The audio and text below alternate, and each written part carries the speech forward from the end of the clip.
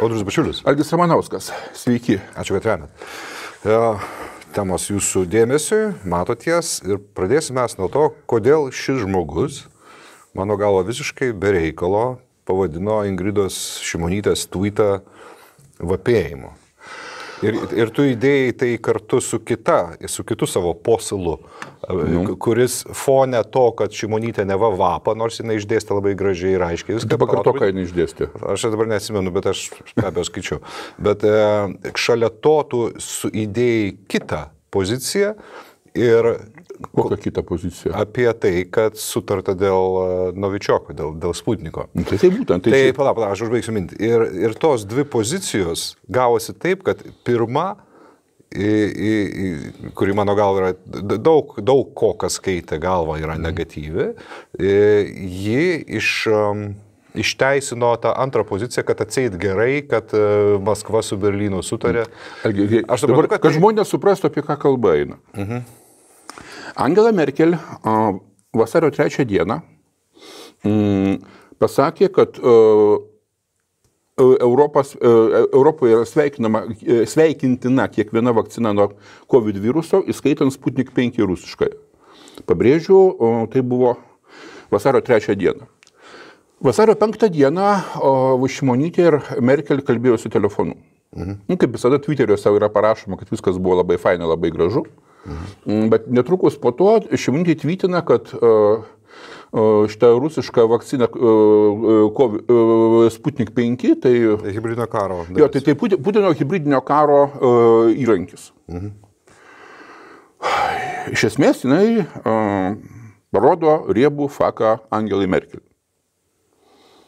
Kodėl? Todėl, kad jinai jau žino, jinai negali nežinoti, ne, nebent, o jeigu nežino, tai vadinasi, jos visa tarnyba siaubingai blogai dirba kad Angela Merkel, o pirmas dalykas, yra siaubingai spaudžiama politinės e, padėties e, Vokietijos viduje su e, praktiškai nevykstančia vakcinacija. Mhm. Vokietija neturi vakcinos savo, Prancūzija neturi vakcinos savo, visa Europa neturi savo vakcinos ir tu pats matai, kokie yra maži vakcinavimo skaičiai lyginant su Britanija, iš kurios buvo ilgai išaipamas Europoje, kad maždaug Britai išėjo ir dabar jiems bus blogai su Amerika, iš kurios irgi buvo šaipamasi, kad uh, durnas Trumpas viską labai blogai padarė. Nu, aš jau ne, apie Izraelį nekalbu, Izraelis, nu, ne tie dydžiai. Bet čia mes kalbam apie didžiasias valstybės. Ir jie sėdi be vakcinos. Ir o, o, o Merkelė nuosės rinkimai, rudenį arba spalio, rugsėjo arba spalio mėnesį pasirinkimai ir labai svarbus rinkimai. Nes visiškai e, nauji lyderiai, neaišku kaip ten bus, jinai negali atvesti e, Vokietiją į rinkimus, o tokiam stovi, koks yra šiandien. Vat. Ir jai tinka bet kas iš tikrųjų. Net Sputnikas. Taip.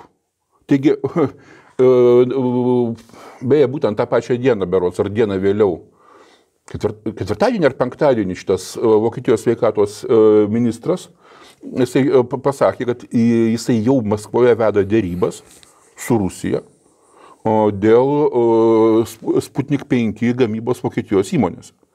Analogiškas darybas su Rusija veda Austrijos kancleris, jis irgi apie tai, tai yra viešai pranešta. Mm, prancūz, prancūzai irgi netmeta tokios galimybės. Ir vat visam šitam fone mm, išlenda šimonytė ir nei iš šio, nei iš to drebia. Iš esmės, sakau, nors pjauna į veidą uh, Europos pagrindiniam žaidėjam